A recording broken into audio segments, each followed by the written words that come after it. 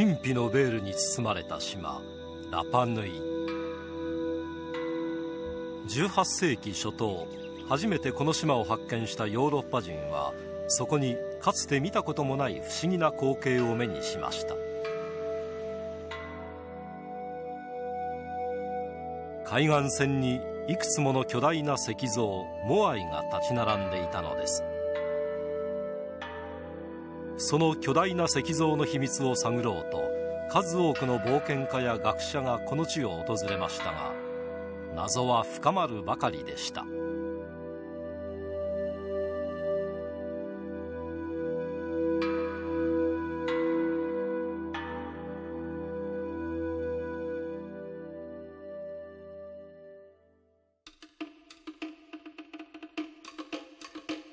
南アメリカ大陸。チリ本土から西へおよそ3700キロ。南太平洋に浮かぶ絶海の孤島ラパヌイ国立公園は180平方キロメートル足らずの小さな島です。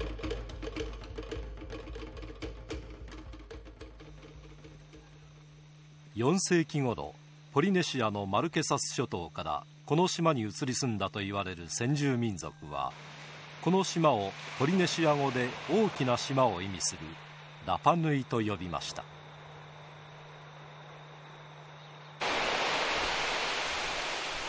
1722年オランダの提督ヤコブ・ロヘフェーンはイースター復活祭の日にこの島を発見しそれにちなんでこの島をイースター島と名付けました。こうしてモアイは世界中に知られるようになったのです。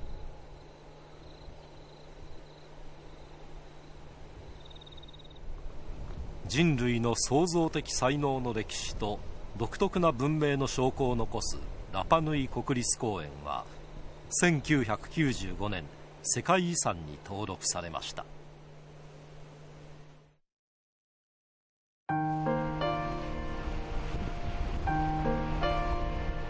ロッヘフェーンの探検隊は彼らは海岸に並ぶ偶像の前にひざまずき祈っていた。偶像は石で作られ長い耳を持ち頭に冠をいただいていたと報告しました。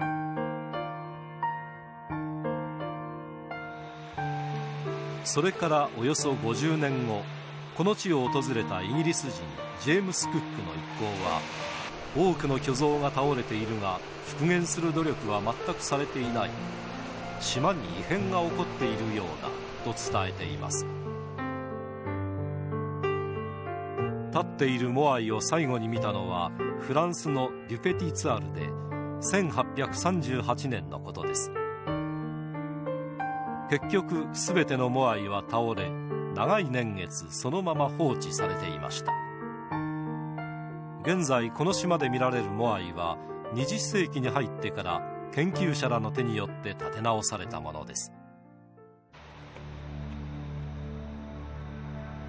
島に語り継がれる伝承によるとこの地に初めて渡ってきたのはホツマツアという名のポリネシア人です。その時期は4世紀とも12世紀とも言われ定かではありません。それ以降代々ホツマツアの子孫が王や貴族になりました。ラパヌイは貴族神官戦士農夫という4つの階級に分かれた社会だったのです。モアイは6世紀頃から作られるようになったと言われています。初期の頃のモアイは小型で全体的に丸みを帯び形状も様々だったようです。トゥリトゥリ像はまるで正座をしているようなポーズをとっています。その様式から7世紀頃のものと言われていますが17世紀に作られたとされる説もあります。モアイの政策は12世紀から16世紀にかけて活発になり発展を遂げます。その大きさは3メートルから10メートルへと次第に巨大化し形も確一的なものに様式化されていきます。モアイは先祖崇拝の証としてアフと呼ばれる石の墓の上に祀られました。アフの前の広場は祭事の場所であり人々はその周りに家を作り生活していたようです。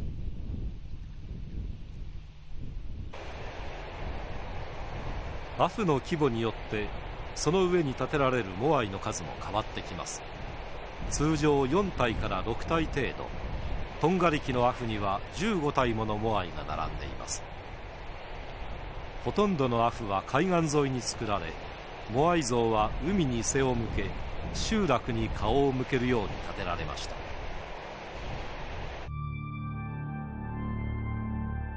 モアイ像は先祖の姿をモチーフにしたものとされています。骨松アオの系譜は耳飾りをぶら下げ長い耳をしていたことから長耳族と呼ばれてきました。モアイの長い耳はその姿を表したものと言われています。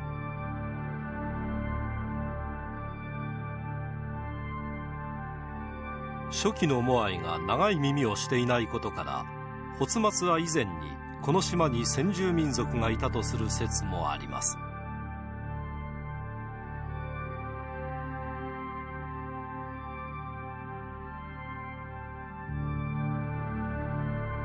ポリネシア一帯には先祖や神を祀る像を作る習慣がありますがそのほとんどが木で作られます。モアイが石で作られたのはこの地に樹木が少なかったからではないかと言われています。またホ松ツが南アメリカから移住してきたとする学者は中南米に見られる巨石文化との関連を指摘します。しかしモアイと類似したものは未だに発見されていません。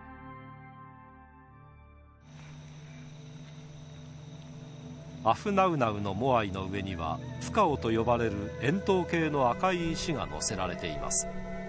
これはモアイ製作の絶頂期16世紀以降のものです。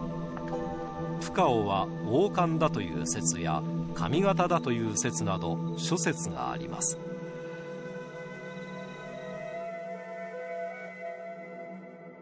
胴体には彫刻があり手は力強い顔面部とは対照的にしなやかに腰に添えられています。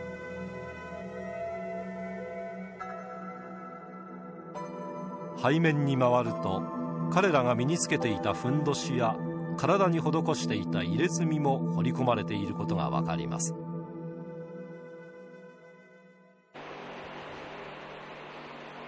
モアイの目。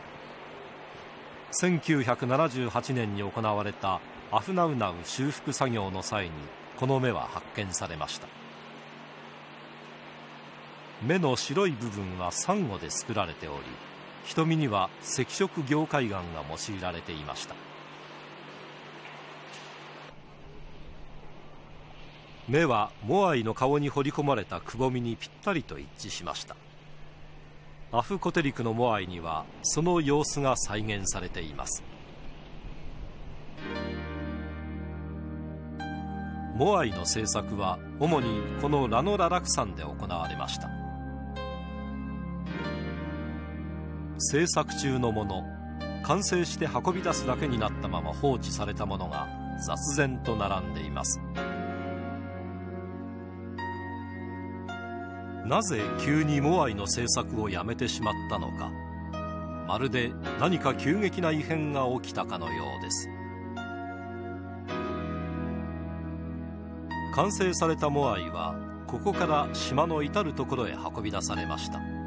しかし小さいものでも40トン大きいもので80トンもあるモアイをどうやって運んだのか。モアイは王や神官の超能力マナを受けて自分で歩いていったのだと村人たちは言います。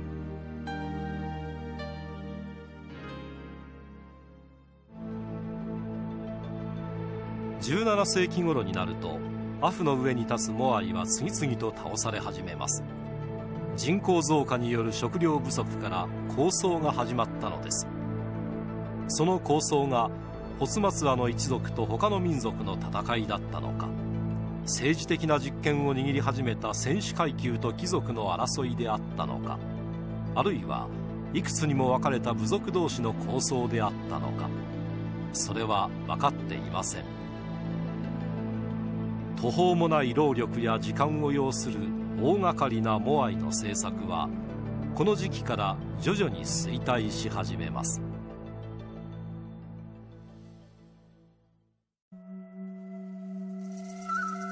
ラパヌイには先祖を祀るモアイとは別の信仰もありました。15世紀頃から行われ始めた超人儀礼と呼ばれる宗教行事です。人類の創造主負け負け。年に一度島の南西に位置するオロンゴ岬で負け負けの化身とされる超人を選び出すのがラパヌイ最大の儀式超人儀礼です。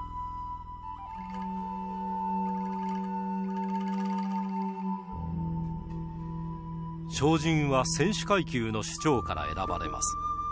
各氏族の首長かその代理人はオロンゴ岬の南西沖にあるモトヌイ島に泳いで渡りクロアジサシが最初に産む卵を手に入れるため競い合うのです。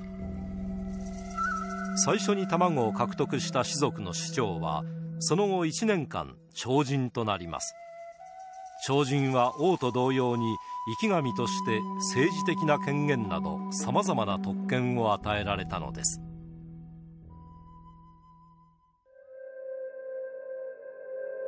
コハウロンゴロンゴ物言う木という意味です。この木簡には発末話の系譜や古からの伝承が彫り込まれているとされています。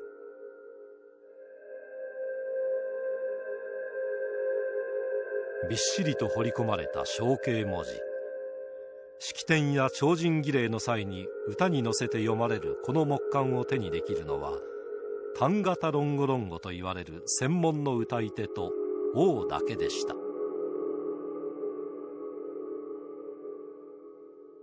1000以上にも上る文字には植物や動物人の体の一部分を表すような形も見られますが現在も全く解読されていません。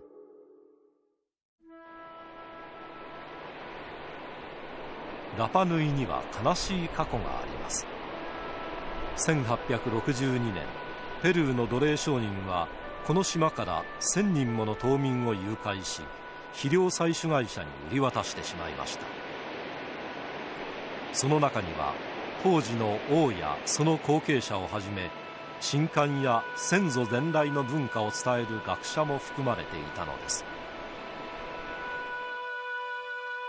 過酷な労働のために島民の9割が死亡します。タヒチ島の宣教師たちの強い抗議によってようやく解放され島に帰り着いた島民はたったの15人でした。しかも彼らは島に天然痘と結核を持ち帰ってしまったのです。一時は9000人とも言われたラパヌイの人口は111人にまで減少してしまいました。ラパヌイの歴史に謎が多いのはこの時文化を伝承するべき人々をほとんど失ってしまったからなのです。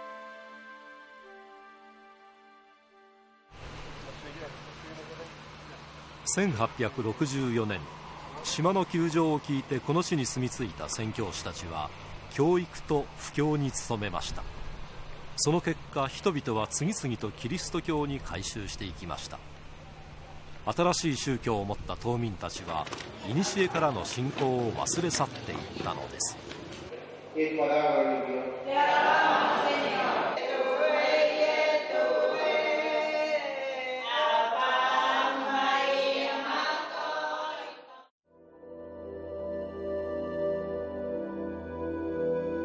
かつて信仰の中心であったモアイや負け負けについて語ることのできる人はもはやどこにも存在しません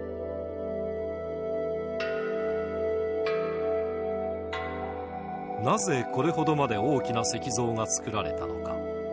それを作り信仰したのはどの民族なのか。なぜモアイは捨て去られていったのか。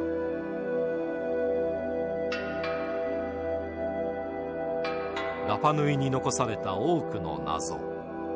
今やその答えを知るのははるか昔からこの島を見続けてきたモアイだけです。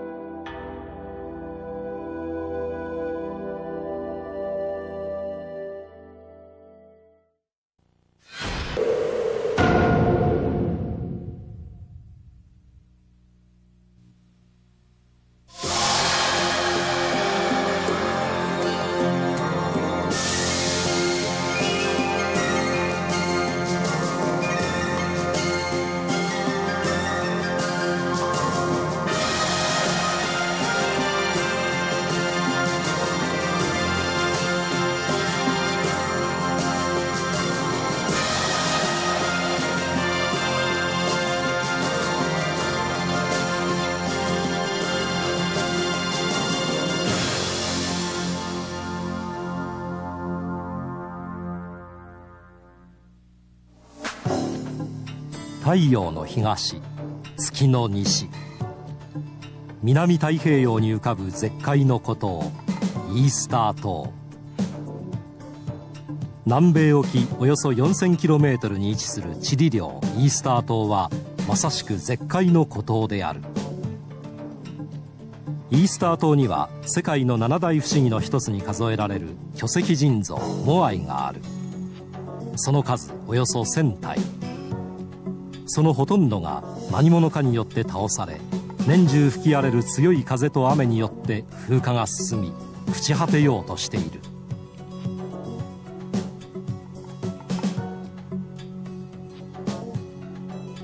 一体誰がいつ何のためにどのようにして作ったのだろうか。全ては未だ謎のままだ。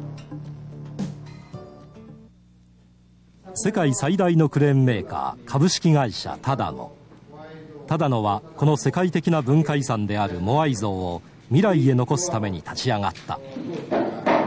協力してモアイ像の修復を行うとの合意にいたしました。このプロジェクトには奈良国立文化財研究所が全面的に修復技術協力をした企業のメッセーナというのはあ、まあ、その企業があ社会にそのどう貢献していくかということなんですが、えー、ただまあお金を出せばいいということではなくて人物金それからまああの技術ですね。そういう総合力でもって、えー、そのメセナ活動ができれば最も理想的な形ではないかというふうに思っております。1992年6月神戸港を出たただののラフテレーンクレーン TR500EX は2ヶ月半にも及ぶ長い航海の末日本の反対側イースター島に到着した。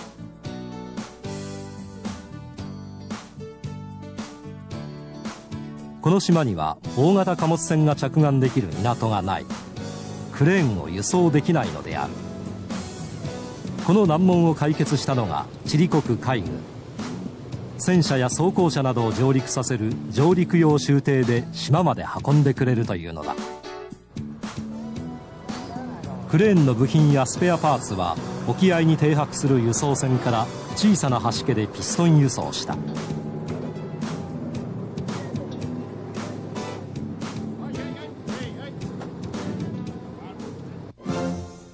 翌日いよいよ島内唯一の砂浜であるアナケナ湾で上陸作戦が開始された。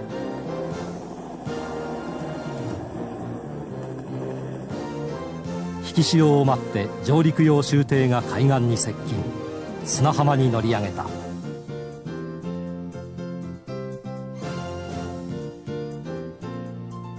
ハッチが開く。いよいよ上陸だ。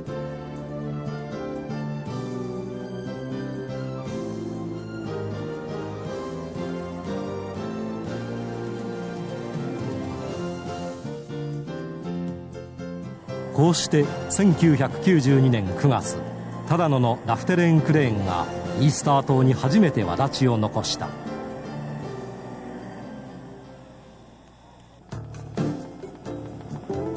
イースター島はおろか。ポリネシア地域最大の遺跡アフトンガリキで本格的な発掘作業は1992年10月に着手された。しかし考古学的調査の遅れ祭壇の再建の遅れさらに悪天候に妨げられて修復作業は難航した。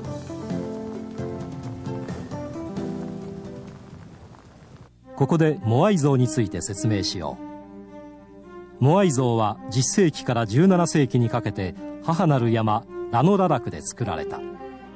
この山全体が火山活動で生まれたため非常に脆い凝海岩でできている。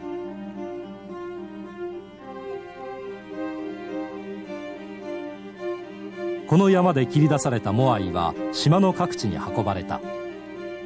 数十トンものモアイをどのように運んだのかは依然として謎のままである。そして運ばれてきたモアイはアフと呼ばれる祭壇の上に建てられ人々を見守り続けていた。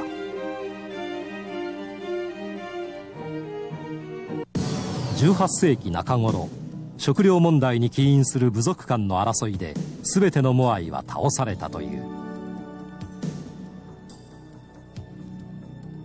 しかも1960年のチリ沖大地震による大津波が修復場所であるトンガリキの遺跡を襲い壊滅的な被害を与えた。15体のモアイと祭壇の石はおよそ2ヘクタール四方にわたって散乱している。そこで発掘作業をするためにまず石の整理をしなければならない。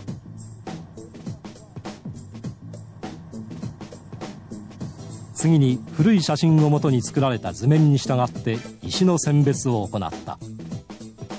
正確に祭壇を再建するためにまるで気の遠くなるようなジグソーパズルだ。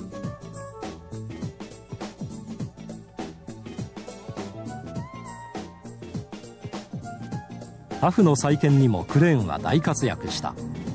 大きな石がゴロゴロする悪路。日中摂氏40度を超える暑さ。突然襲うスコール。最悪の条件下でもトラブル一つ起こさず働き続けた。島民はこの便利で力強い文明の利器に目を見張り操作性の良さを絶賛した。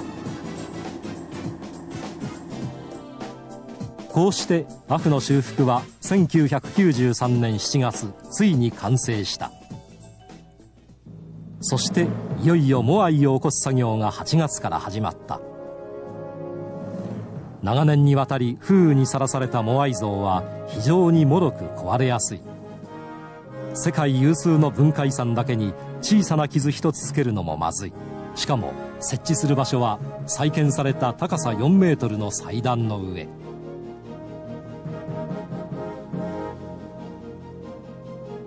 った時に伸びがものすごいあるからな。身長の上にも身長を期してモアイを建てる作業は始まった。日本からは7人の考古学者と遺跡再建のプロフェッショナルチームが参加。チリ側からは考古学者のほか数十人の地元島民とが共同作業に当たった。万全を期してロープをかける。当初の予想をはるかに超える40数トンものモアイ像だ。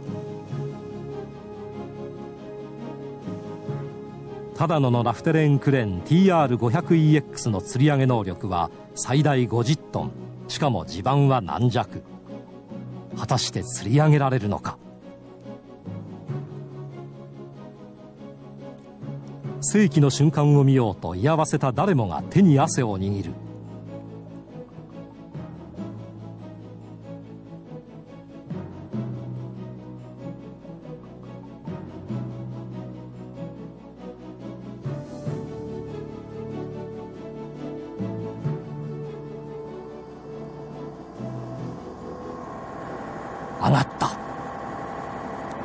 上がった。今この瞬間数百年の眠りからモアイは起き上がったのだ。数ミリずつゆっくりとしかし確実にモアイはアフを目指して進む。初めてこのモアイ像がここアフトンガリキに立った時には一体何年の歳月を要したのであろうか。どれほどの労力を要したのであろうか。ッケー乗る乗る乗るじゃない。現代文明の利器クレーン車は心地よいアイドリングの音を響かせながら着実に目的地へと巨大石像を運ぶ。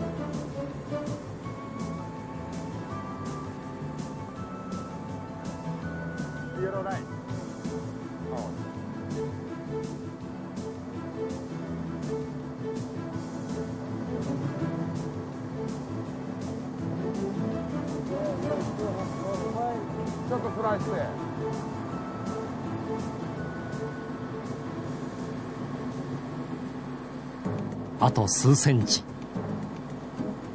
あと数ミリ。現場に居合わせた誰もが緊張し祈った。神に祈るでなく仏に祈るでなく。ただ自然と大地と偉大な人類にそして全宇宙に祈りを捧げた。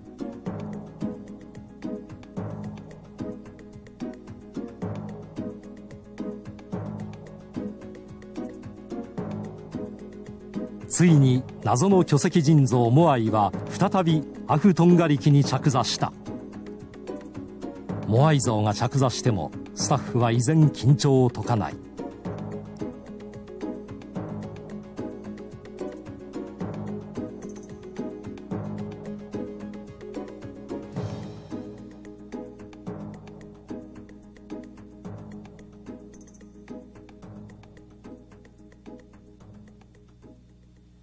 表面を保護するためモアイ像を覆った布地が外された。その瞬間歓声とともに誰彼ともなく手を握り合い肩を抱き合っていた。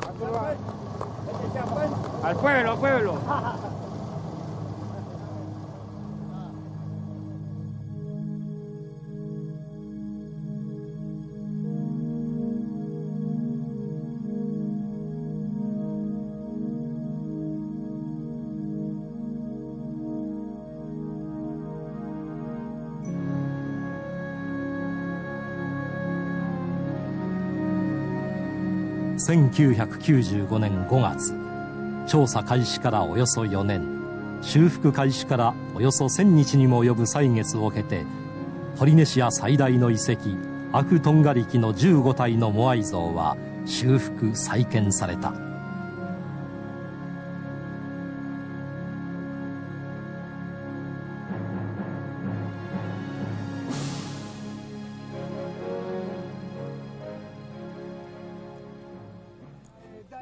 ースター島では島民総出でアフトンガリキの修復完成を祝う祭りが一昼夜にわたり繰り広げられた。完成式典には株式会社ただのから只野博相談役が出席した。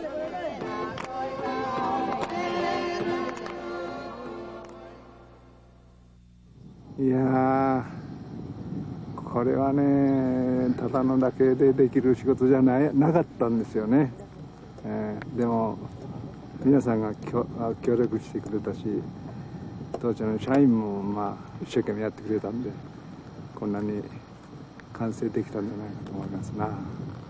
とても私どもが手をかけるべき あのスケールじゃなかった大きなもんだったんですよね結果的そんなことないですいややはりその火付け役っていうのは大事なもんでね。うんそれは大きいです。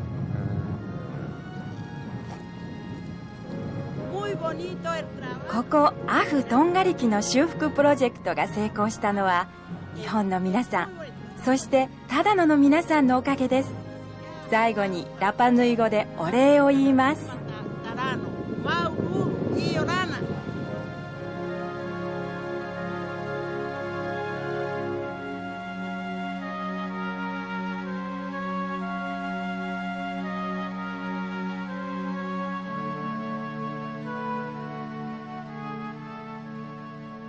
太陽の東月の西イースター島。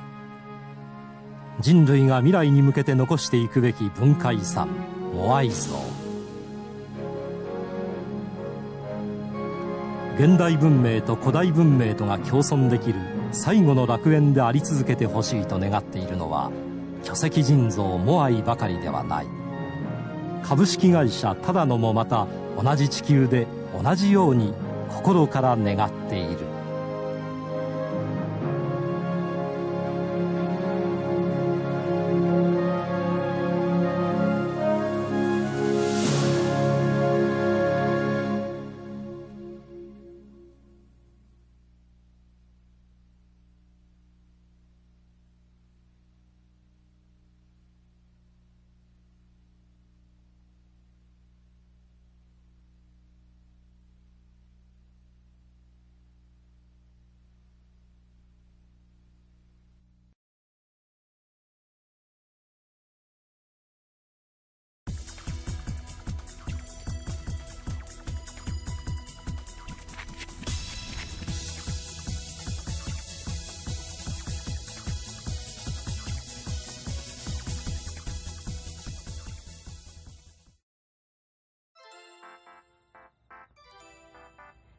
見てください。この抜群のロケーション。ここはあのイースター島ではありません。なんと宮崎県の日南市にあるサンメッセ日南から望める景色なんです。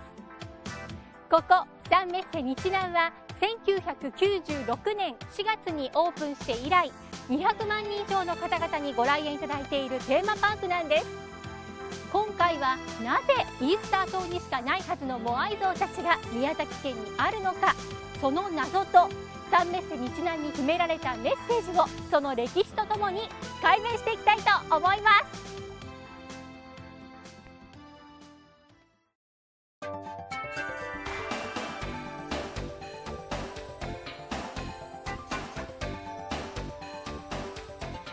可愛い動物たちですね。ここは昔和合牧場として営まれていたんですが現在では牧場ではなくこのように動物たちと触れ合える場所として生まれ変わっています。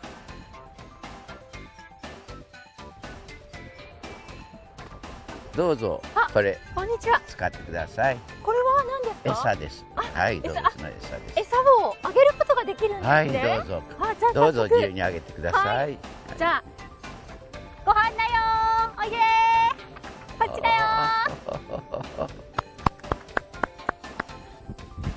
お出てきた。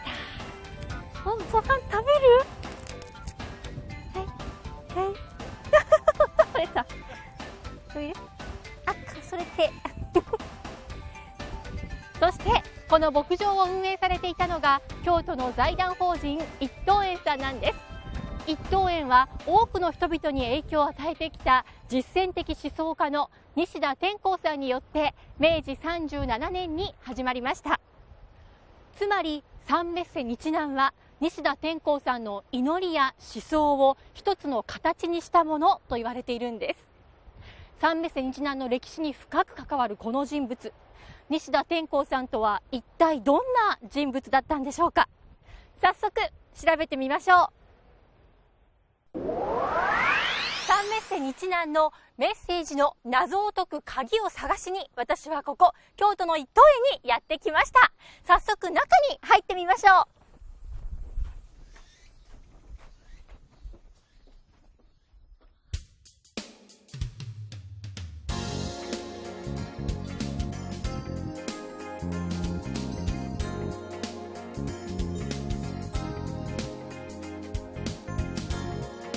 緑に囲まれたとっても素敵なところですね。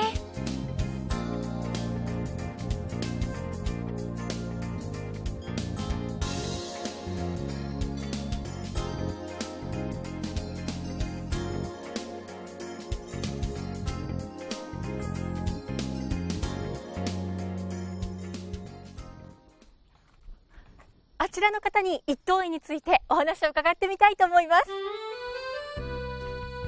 すみませんこんにちは。あれ？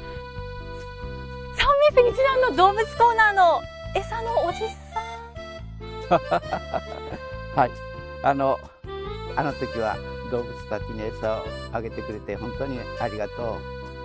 私は三メッセ日南の社長でありますがまたここ一等園の当番も務めております西田武と申します。えー、の社長さんだったんですね。一等園の当番理事長さんでいらっしゃる。西田さんっておっしゃるともしかして。はい。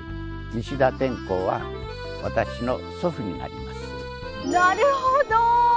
三メッセ日南誕生の謎が少し解けてきたような気がしますよ。よかったら私が一等園をご案内いたしましょうか。いいんですか？ありがとうございます。じゃあどうぞ。はい、お願いしますびっくりしましたここでお会いして。ありがとうございます。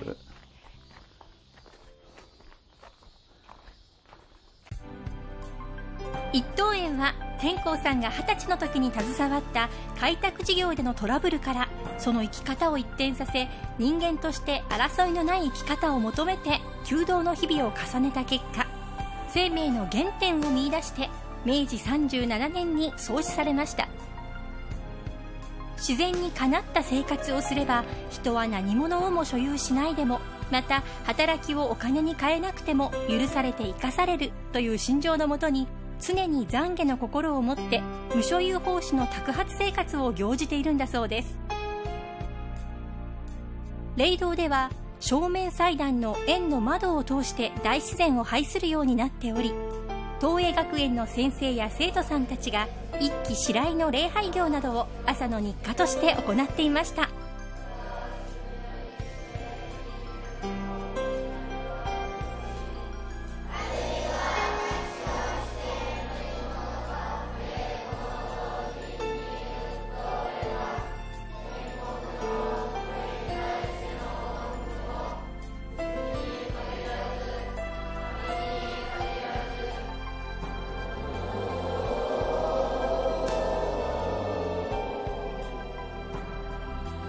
して天功さんの思いは受け継がれているんですね。そして一等園の中には天功さんの生涯と一等園生活に関する資料などを保管展示公開をしている資料館構想院があります。当時の貴重な写真や文書天功さんとご縁のあった方々の作品や関係資料なども多数展示されており天功さんや一等園生活をより広く知ってもらう場となっています。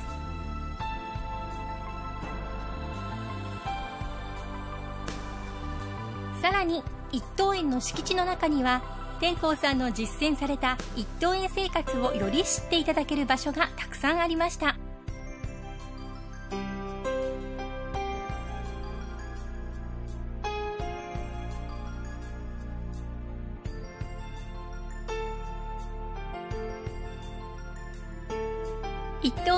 晴らしい景観や歴史に触れて私も天功さんが伝えたかったことが少し分かったような気がします。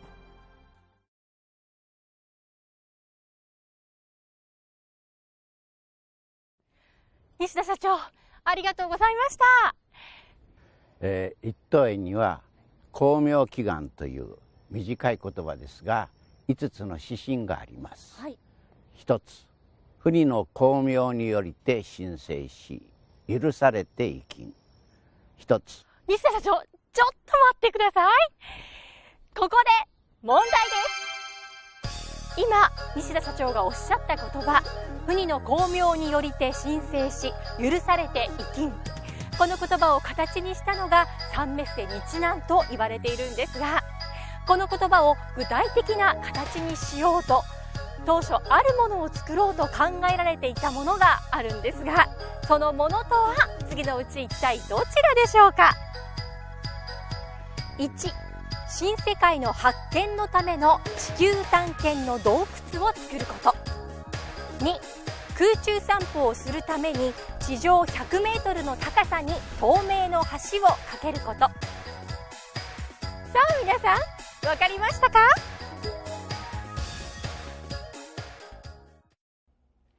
この壮大な景色の中に当初は何を建てようとしていたのでしょうか？西田社長クイズの答えをお願いします。はい。答えは2番の空中散歩をするために地上100メートルの高さに透明の橋を架けることです。地上100メートルの橋と言いますとものすごい高さですがどうしてこの計画はなくなったんですか？はい実際は橋というよりも上下左右透明の回廊をこの海岸沿いにずっと建てる計画だったのですがよく考えてみると自然を破壊する以外の何者でもないと思いこの計画は中止しました。私は高いところが苦手なのでもしこの橋ができていたとしても渡れなかったかもしれないな。それから西田社長は天功さんの思いを形にするためにとても悩まれたと聞いているんですが。はい。まあいろいろな案があったのですがまあみんな何か私の心にピッとくるものがなくて結局何をしてよいかわからない。それで悩んでここにいつの間にか来てそしてそこに座って一晩中悩んでいたんです。悩んだ西田社長は座ったまま三メッセ日南の草地の丘で一夜を明かしてしまいます。そして気がつくと目の前には空と海を分けるように水平線が広がっていました。おお太陽だ。私は作った会社の名前を三メッセ日南と決めました。私は太陽の心を感じられるようなそういう広場にしたいと考えています。それなのにあなたは何も答えてくれない。私の期待にぜひ答えてほしい。答えてください。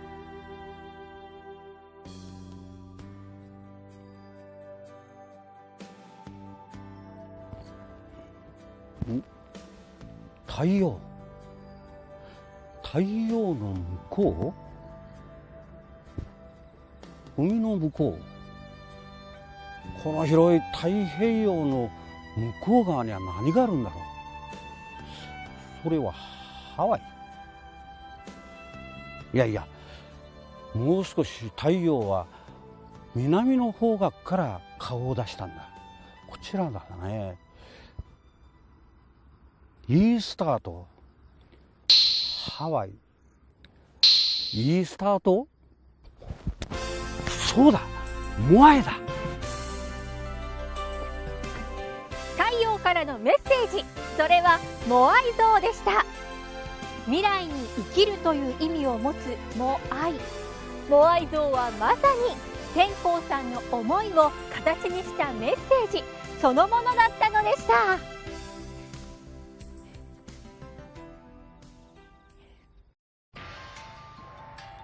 界の七不思議の一つと言われているイースター島のモアイ像たち。モアイ像は採取目的に建てられたと推測されていますが採取形態については未だ定説がありません。最近ではモアイ像たちが環境破壊の原因を作り部族間の争いになったとも言われています。争いと環境破壊によって人口が激減した歴史が現在の人類と地球の関係を象徴しているとも言われているんです。そしてその部族間の勢力争いで倒されたと言われるモアイ像たち。そのモアイ像たちを修復させるためにこの日本でモアイ像修復のプロジェクトチームが結成されたんです。モアイ像修復のプロジェクトチームの最重要人物を訪ねてみましょう。なぜサンメッセ日南にモアイ像の完全復元が認められたのか。その謎を解くために私は奈良県にある飛鳥建設さんにやってきました。すみませんこんにちは。こんにちは。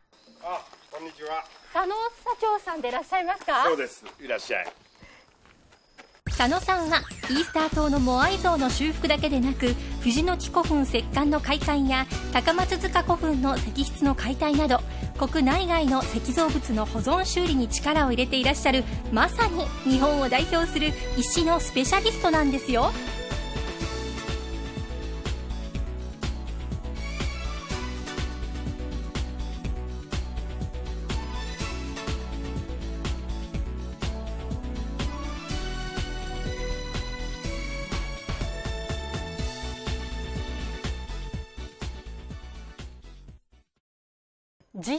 際のイースター島のモアイ像たちと対面されて、どんな印象を持たれましたか？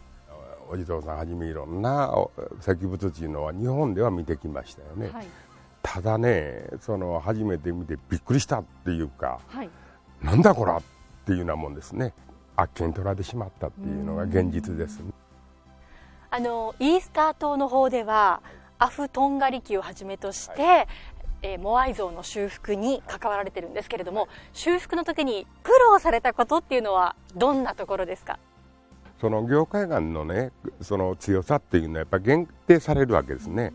で一番大きなのはね風化してる業界岸がね海に背を向けて立ってるんですよ、はい、でそれがですねあの潮風がどんどんどんどん背中から当たるでしょでお腹にその塩分が白くこの全部吹き出てきてるわけですね。で凝固岩の柔らかい分が表面だけが塩分で硬くなってですね、中はなんか空洞のあんこみたいに柔らかいんですよ。でそれがですね例えば20トンある大きな目方のものをねどうくくるどうしてくくってどうして釣り上げるのかと。でうかつにくくればぐしゃーっと潰れてしまうとだからもうなんか紐でくくってるようなもんですよね。そういう状態になりますからそれも20トンとか15トンとかね軽くて15トンぐらいありますからそれを上げたりこう振り回したりは大変だと。あの普通じゃやれないっていうことでやっぱり随分苦労しましたしまたその割れたとこのつなぎ面とかね、そういった面にも気を使いましたね。だからまあそれがねあのうまくいったからこうして言ってられますけどね、あれ一つが砕けとったら世界で批判を受けて日本はダメだって言われるわけですからね。あの一番大事なことはね、その島民に我々がずっとやってるわけじゃないんで島民の人たちに少しでもその技術を覚えていただきまた理解していただいて自分たちの力であの直してですね愛着を持って大事にしてもらいたいということを手がけてきたんですけども、まあ、今結果よしということでうまくいってます。あのイースター島にあるはずのモアイ像が、えー、三メッセ日南に再現されているわけですけれども、ね、西田社長がねいやそのね荒れ果てたねその日南のね宮崎にその公園を作ったいで実は佐野さんその場所を見てくれないかということに来られたわけですで場所を見て何す何のために場所を見に行くんですかっていう話をしたら実は宮崎行ったらこの場所にモアイを建ててくださいとこうなったわけですよね。はい、はっていうようなもんですよ。えー、で2人でじゃあ伊佐と行きましょうと言って、はい、あのまあ伊佐と行くと。そしてあの場所が本当にね海を帯びてイスタートとほとんど変わらないじゃないですかと。でそのことも説明全部イスタートでしましてね。で理解を得まして。で出来上がった時に市長さん知事さん皆さんが来られてなるほどと。これはイスタートのあの崖に立ってるのよく似てると。素晴らしいとこだと、はい、いうこと。でそれをまっすぐずっと行くとねチリ行くんだと。あなるほど。ね、イスタート行くんだと、えー、海じゃない大変、はい、ずっとね。つながってますねだから素晴らしいことだ、えー、ですから私はあの西田当番さんのその決断力、はい、そしてそのイースター島というものをその見つめて日本の地球の裏にあるわけね。日本の裏にある。宇宙から発信する素晴らしいことを世界の人類のためにっていうことでおっしゃってねやっておられるんだから素晴らしいと思いましたね。えー、であのモアイ像がね今できてまだ十数年10年余りしか経っておりません、でこれから20年30年経っていくと自然の雰囲気でだんだんその重み増してきます、えー、石というのはね。ですから当番さんがやっていただいた西田社長がやっていただいたそのモアイ像がですねこれこれからも観光客の皆さんにまたこれから先はですね日本の国民の宝にいずれなってもらいたいということも思っております。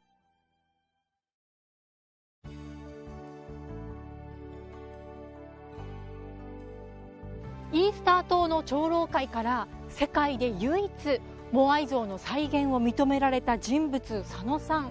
佐野社長の心も天功さんによって動かされていたんですね。はいその通りです。そして偶然ですけどモアイの修復に深く関わったクレーンの会社の只野さんも早くから一定の研修会に参加されていて大変親しい間柄だったんです。えー、ということはここでも天功さんが西田社長とモアイ像たちをつないでくれていたんですね。なんだか運命的なものを感じてしまいますよね。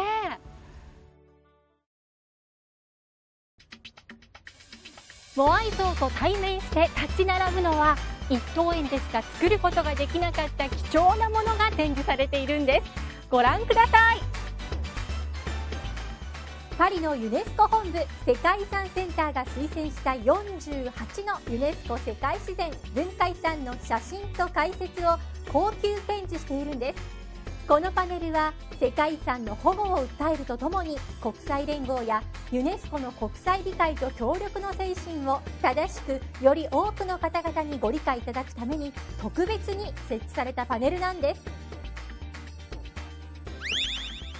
ここでサンメッセ日南のその他の施設についてご紹介しましょう。広い園内はカートを使っての移動もできますよ。太平洋からの心地よい風を感じてください。ウェルカムプラザにやってきました。ここでは南国宮崎にぴったりのカラフルなフルーツジュースやソフトクリームなど絶景を眺めながらくつろぎのティータイムをお過ごしください。そしてウェルカムショップではここでしか買えないモアイの楽しいオリジナル商品がたくさん。きっとお気に入りのモアイが見つかるはずですよ。他にも南国情緒あふれるアロハシャツや日南市を代表する自然の幸など満足の品揃えでお迎えいたします。サンメッセオリジナルの芋焼酎です。モアイの帽子プカオは高槻になります。そして絶景を眺めながら上に向かうと太陽に向かって羽ばたくようなイメージの建物センタープラザ。ここではモアイとイースター島の歴史についての資料や写真の展示。サンメッセ日南の生みの親である西田天功さんの資料室があります。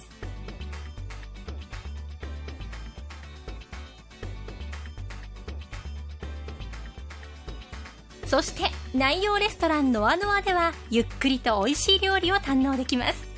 ノアノアのおすすめメニューはサンメッセランチです。ジューシーな手作りハンバーグに宮崎名物のチキン南蛮。ボリュームもたっぷりで満足すること間違いなしですよ。もちろんここから見る景色も絶景です。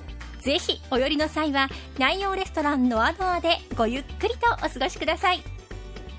心の癒しの後には体も癒してもらいましょう。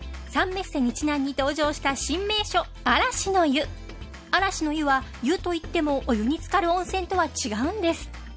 温泉の成分と一緒に15種類の薬効石の熱で体を温める療法なんです。従来の岩盤浴とは一味も二味も違う癒しの効果をぜひ体験してみてください。またゆっくりくつろげる休憩室もありますよ。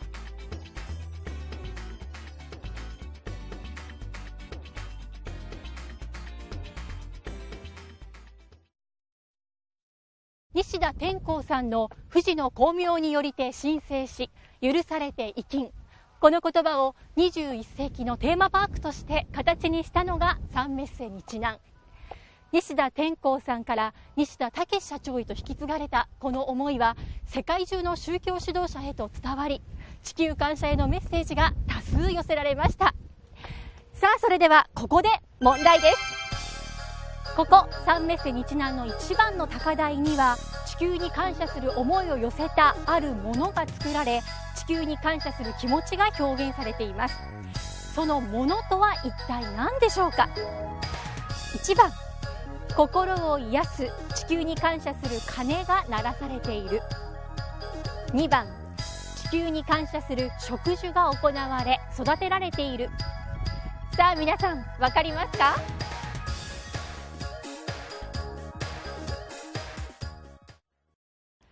球感謝の思いを形にするあるものとは一体何だったのでしょうか？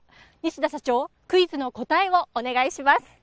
それは一番の地球感謝の鐘を鳴らすことです。なぜこの場所に地球感謝の鐘を建てようとお考えになられたんですか、えー、ここはご承知のように日南海岸を一番美しく感じることができるところです。ここに地球感謝の鐘を立ててそれも神道仏教キリスト教それぞれにご協力いただく。さらに伝統的な宗教新しい宗教。でその17の教団のトップの方々に地球へのメッセージを書いていただいて宗教協力で地球感謝の鐘を作らせていただきました。これは世界でオンリーワンだと思っております。地球感謝の鐘には世界の宗教指導者の方々の地球感謝へのメッセージもいただいてその言葉の展示もしてあるんですけれども地球感謝の鐘を作る際最も大変だったところはどんなところですか？はい、えー、私はあ鐘の形に一番、えー、迷いました。と言いますと？はい。地球感謝の鐘にはキリスト教の方も仏教の方も協力して資金を出してくださっています、えー、キリスト教の鐘を考えますとキリスト教風の鐘は中にふんどがあって鳴らします。仏教風の鐘は外側からこう叩きます。そうすると鐘の形どちらにも申し訳ないということでえー、結局困ったわけです。なるほど。そう言われると確かに悩みますよね。はい。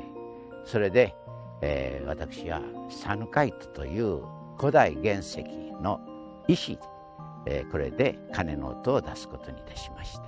古代原石のサヌカイト？はい。サヌカイトは、えー、叩きますと大変美しい音色を発します。その美しい音色にはどの教団の先生方も大変喜んでくださいました。ということで実はこちらに古代原石のサヌカイトがあるんですけれどもちょっと叩いてみてもいいですか？はいどうぞどうぞ、はい、叩いてください。失礼します。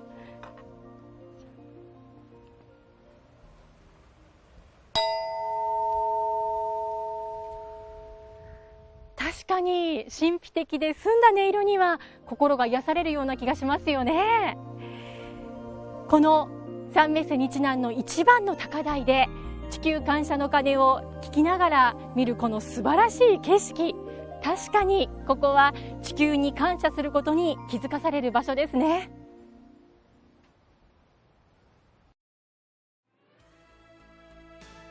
三メッセ日南にはたくさんの方々の願いが込められていたんですね。はい。ここは不思議な因縁や作用によって作ったというよりは作らされたような気が今となってはしていますね。私は複雑な現代の社会生活の中で人々のすさんだ気持ちが太陽や風やそして大いなる自然に抱かれて癒され勇気づけられる。そして人は太陽の恵みや地球の環境によって生かされていることに気づく。地球に許される生き方に気づく。ご縁作りの場所になれたらそんな思いでここを作りました。太陽からのメッセージ。三メッセ日南この場所でモアイ像や地球感謝の鐘が伝えるメッセージは西田天功さんの思いや西田社長の地球に感謝する思いが形となって来園される皆様の心に何かを伝えると思います。私も太陽からたくさんのメッセージをもらいました。いつでもここに遊びにいらっしゃい。ここは太陽から地球から素敵なメッセージをいつでももらえるところ。3メッセージなんですから。